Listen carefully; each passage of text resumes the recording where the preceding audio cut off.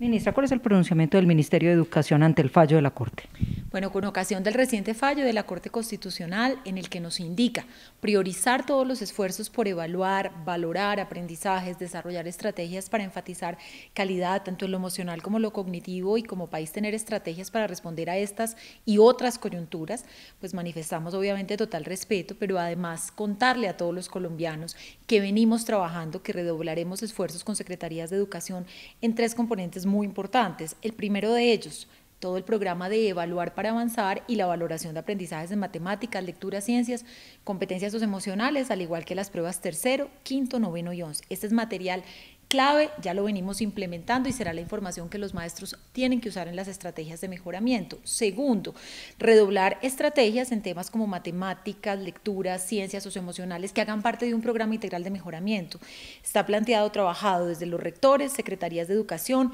contenidos de apoyo, programas de tutorías a los maestros y obviamente acompañamiento situado. Este tiene que ser el foco de este año 2022 y frente a la última eh, punto tocado por la Corte, claro que es muy importante y evidentemente tenemos que dejar este ecosistema con contenidos virtuales, pero también radiales, de televisión, que permita al sistema adaptarse a las distintas coyunturas y poder apoyar en las distintas eventualidades como ellos señalan. Así que el mensaje es trabajo en equipo, foco en la calidad, ya retornamos a la presencialidad y en eso estamos liderando todas las iniciativas desde el Gobierno Nacional.